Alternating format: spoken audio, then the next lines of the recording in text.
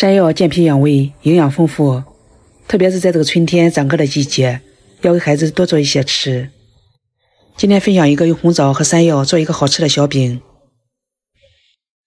准备好了山药，清洗干净，去掉外皮，然后切成薄片。切好后放蒸锅里，红枣也一块放蒸锅里，大火蒸十五分钟。蒸好的山药倒入大碗里，压成泥。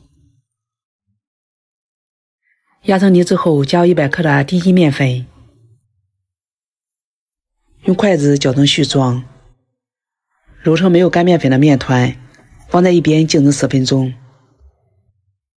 这中间把蒸好的红枣倒入搅机里，搅成红枣泥。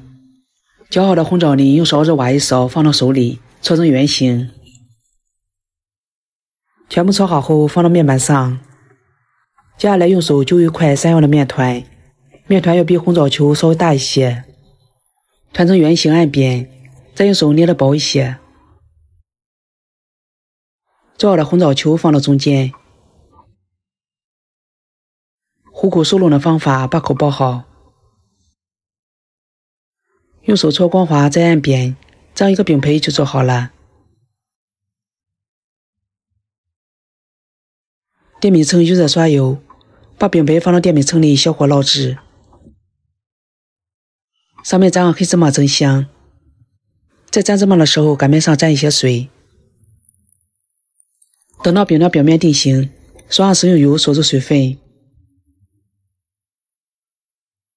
一面烙至金黄色，翻过来烙另一面，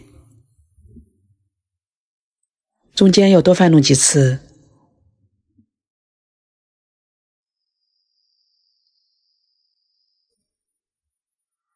烙至两面都这样金黄色，就可以出锅了。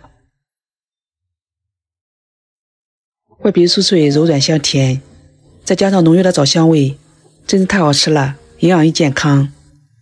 做法也非常的简单，喜欢的朋友一定要试一试。谢谢大家的观看。